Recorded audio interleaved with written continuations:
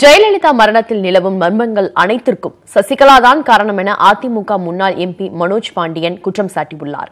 ஆனால் அவர் மேல் உள்ள காழ்ப்புணர்ச்சி காரணமாக ஆதாரமற்ற குற்றச்சாட்டுகளை மனோஜ் பாண்டியன் கூறி வருவதாக சசிகலா தரப்பு வழக்கறிஞர் செந்தூர் பாண்டியன் தெரிவித்துள்ளார்.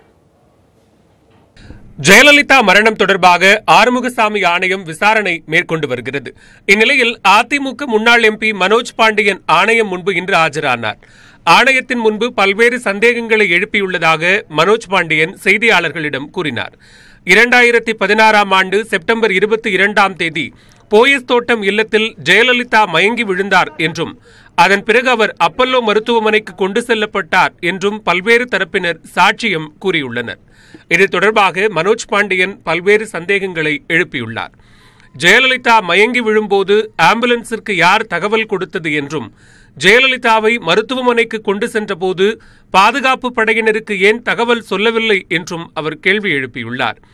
ஜெயலலிதா மருத்துவமனையில் அனுமதிக்கப்பட்ட போது மயங்கிய நிலையில் இருந்ததாக பலரும் கூறியுள்ள நிலையில் சசிகலாவின் வாக்குமூலத்தில் வேறுபாடு உள்ளதாகவும் மனோஜ் பாண்டியன் கூறியுள்ளார். இதுபோன்று பல்வேறு சந்தேகங்களை ஆணையத்தின் முன் தான் எழுப்பியதாகவும் மனோஜ் பாண்டியன் கூறினார். அங்கு இருபத்தி ரெண்டாம் தேதி என்ன நடந்தது? எப்படி அம்மா விழுந்தார்கள்? யார் கொண்டு வந்தார்கள்? கொண்டு வரும் பொழுது எதற்கு உளவுத்துறைக்கும் சொல்லவில்லை காவல்துறைக்கும் சொல்லவில்லை குடும்ப உறுப்பினர்கள் மட்டும் எப்படி அப்போலோ ஆஸ்பத்திரிக்கு வருகின்றார்கள்? அப்போலோ ஆஸ்பத்திரியில் ஏன் சிசிடிவியை அணைக்க சொல்கின்றார்கள். அணைத்த பிறகு ஏன் யாரையும் அம்மாவை சந்திப்பதற்கு தடுக்கின்றார்கள்? தடுத்த பின்பு என்ன சிகிச்சை சொன்னார்கள் செய்தார்கள் என்று சொல்லவில்லை. ஏன் வெளிநாட்டுக்கு எடுத்து செல்ல செல்லவில்லை? அம்மாவுக்கு சிகிச்சைக்காக ஏன் வெளிநாட்டுக்கு எடுத்து செல்லவில்லை? இப்படி தொடர்ச்சியாக நடைபெற்ற அடுத்த அத்தனை நிகழ்வுகளும் தான் இந்த மர்மம் இந்த மர்மம் நீங்கப்பட வேண்டும் என்பதுதான் என் போன்ற தொண்டனுடைய அம்மாவுடைய தொண்டனுடைய எதிர்பார்ப்பு. மேலும் ஜெயலலிதா மரணம் தொடர்பாக ஏராளமான மர்மங்கள் உள்ளதாகவும் அத்தனை மர்மங்களுக்கும் சசிகலாவே காரணம் என்றும் மனோஜ் பாண்டியன் குற்றம் சாட்டினார். தொடர்ந்து செய்தியாளர்களிடம் பேசிய சசிகலா தரப்பு வழக்கறிஞர் ராஜா செந்தூர் பாண்டியன் மனோஜ் பாண்டியன் கூறும் குற்றச்சாட்டுகள் ஆதாரமற்றவை என்றும் சசிகலா மீதான காழ்ப்புணர்ச்சி காரணமாக இதுபோன்ற குற்றச்சாட்டுகளை அவர் கூறி வருவதாகவும் தெரிவித்தார். போயஸ் கார்டனில் உள்ள சிசிடிவி பதிவுகளை தர முடியாது என யாரும் கூறவில்லை என்றும் ராஜா செந்தூர் பாண்டியன் கூறியுள்ளார்.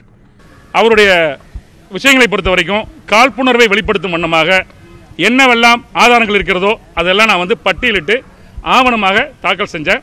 பதினாலு ரெண்டு அந்த உச்சநீதிமன்ற தீர்ப்புக்கு பிறகு அவங்க வந்து திருமதி வி கே சசிகலா அவர்கள் பெங்களூர் சிறைச்சாலைக்கு போயிட்டாங்க.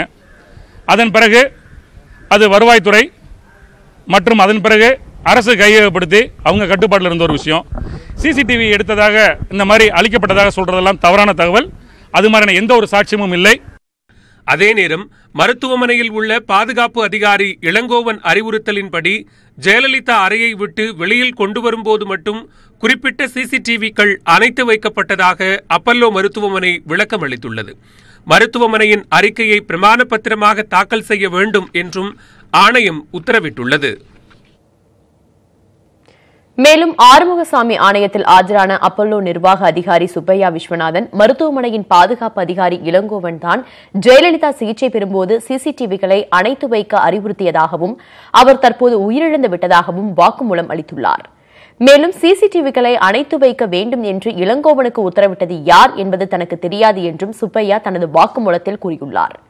முன்னதாக ஜெயலலிதா சிகிச்சை பெற்றபோது சிசிடிவியை இயக்க வேண்டாம் என உத்தரவிட்டவரின் விவரம் தெரியாது என சுப்பையா தெரிவித்திருந்தார். இந்த நிலையில் சிசிடிவி காட்சிகள் தொடர்பாக பிரமாண பத்திரத்தை தாக்கல் செய்ய அப்பல்லோ மருத்துவமனைக்கு விசாரணை ஆணையம் உத்தரவிட்டுள்ளது. சென்னையில் சாலை விபத்தில் உயிரிழந்த தனது மகள் கொலை செய்யப்பட்டிருக்கலாம் என்று காவல்துறை உதவி ஆய்வாளர் ஒருவர் சந்தேகம் எழுப்பியுள்ளார். சம்பவம் நடந்த விதம் சந்தேகத்திற்கு காரணமா? கொலை செய்ய வேண்டிய நோக்கம் என்ன? இந்த தொகுப்பில் இப்போது பார்க்கலாம்.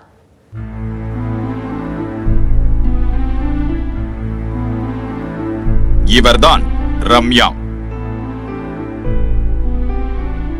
வாழ வேண்டிய வயதில் திடீரென சாலை விபத்தில் உயிரிழந்துள்ளார். இவரது மரணம் விபத்தா கொலையா?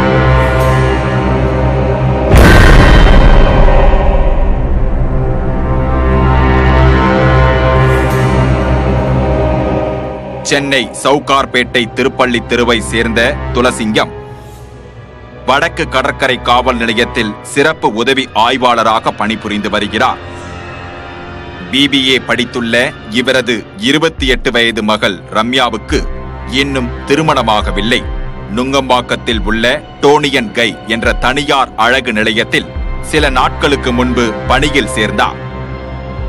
வழக்கம் போல் திங்கள் இரவு தனது பணியை முடித்துவிட்டு சவுகார்பேட்டை வீட்டிற்கு இருசக்கர வாகனத்தில் ரம்யா வீட்டிற்கு திரும்பிக் கொண்டிருந்தார்.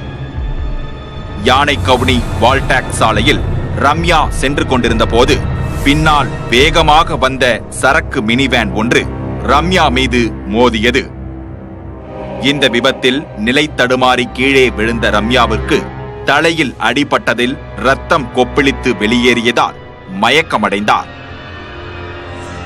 அக்கம் பக்கத்தினர் கொடுத்த தகவலின் அடிப்படையில் விரைந்து வந்த மருத்துவ குழுவினர் ராஜீவ்காந்தி அரசு மருத்துவமனையில் சிகிச்சைக்காக ரம்யாவை சேர்த்தனர். அவசர சிகிச்சை பிரிவில் தொடர்ந்து சிகிச்சை அளித்தும் பலனின்றி செவ்வாய் அதிகாலை ரம்யா மரணமடைந்ததாக மருத்துவர்கள் அறிவித்தனர். சந்தேகத்திற்குரிய மரணம் என்பதால் ராஜீவ்காந்தி அரசு மருத்துவமனையில் ரம்யாவின் உடல் பிரேத பரிசோதனைக்கு பிறகு பெற்றோர்களிடம் ஒப்படைக்கப்பட்டது. விபத்து குறித்து யானைக்கவுனி போக்குவரத்து புலனாய்வு பிரிவு போலீசார் விசாரணை நடத்தி மினி வேன் ஓட்டுநர் பட்டாபிராமை சேர்ந்த பழனி என்பவரை கைது செய்தனர்.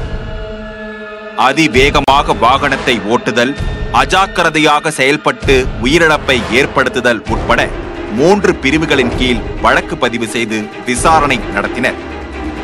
மாமனார் திரைப்பட ஸ்டண்ட் கலைஞர் ரத்தினமும் அவரது மகன் எத்திராஜும் சேர்ந்துதான் ஆள் வைத்து தனது மகளை வாகனத்தில் ஏற்றி கொலை செய்து விட்டதாக போலீசாரிடம் ரம்யாவின் தந்தை துளசிங்கம் தெரிவித்துள்ளார். ரத்தினம் தனது மகன் எத்திராஜுடன் சேர்ந்து எனது மகள் ரம்யாவை வீட்டை விட்டு விரட்ட முயன்றதால் இரு தரப்பிற்கிடையில் ஏற்கனவே தகராறு ஏற்பட்டதாக துளசிங்கம் கூறியுள்ளார். கடந்த ஒரு வருடமாக நிலவி வரும் சொத்து பிரச்சனையே தனது மகள் மரணத்திற்கு காரணம் என கண்ணீர் விடுகிறார் துளசிங்கம். நான் இப்போ இனிஷியேஷன் போய் கேட்டேன். எல்லாம் கிளியர் ஆச்சுன்னு சொல்லி சொன்னாங்கப்பா அதில் விட்டோம்பா? ஆமாம்பா யார் மேல சந்தேகம் என் மச்சான்டனும்பா தனியா அவங்க மேல? இல்லைப்பா இதனால இனிஷியேஷன் சொல்லிட்டாங்கப்பா. ஐயோ இல்லை பக்கா பண்ணிட்டேன்னு சொல்லிட்டாங்க வீடை காலி பண்ண சொல்லி வீடை காலி பண்ண சொல்லி தான்ப்பா பண்ணானுங்க அவங்க ஸ்டண்ட் மாஸ்டரா அவங்க மாமனாரு? ஆமாம்பா ஆ. ஆமாம்பா ஆ, ஏ- ஆ, ஏற்கனவே இந்த மாதிரி பிரச்சனை போயிட்டு இருக்கா கோர்ட்ல கேஸ் ஏதாவது போட்டிருக்கீங்களா? இல்லை அங்கங்கே ரிப்போர்ட் கொடுப்பான்ப்பா அவன் ஆ சரி. அங்கங்கே ரிப்போர்ட் கொடுப்பான். போகிற இடம் போகிறா ரிப்போர்ட் கொடுப்பான்பா என் பொண்ணு மனம் போகிறோம் மனம் போகுது டாடி மனம் போகுது டாடின்னு சொல்லுவாளே. அவங்க வீட்ல தான் குடியிருக்காங்களா அவங்க? ஆமாம் நாற்பது வருஷமா அங்கே தான் இருக்கிறோம். ரம்யா மரணத்திற்கு காரணமாக இருந்த மினி வேன் ஓட்டுநர் பழனியிடம் போலீசார் நடத்திய விசாரணையில் பழனிக்கு கொலை செய்யும் எண்ணம் இல்லை என்பதை கண்டறிந்துள்ளனர். எதிர்பாராத முறையில் வேகமாக சென்று கொண்டிருந்த போது ரம்யா திடீரென தனது வாகனத்துடன் மோதியதில் அவர் படுகாயம் அடைந்ததாக பழனி வாக்குமூலம் கொடுத்துள்ளார். ரம்யாவின் தந்தை எழுத்துப்பூர்வமாக புகார் கொடுத்தார். சந்தேகப்படும் நபர்களை அழைத்து விசாரணை செய்வோம் என போலீசார் கூறியுள்ளனர்.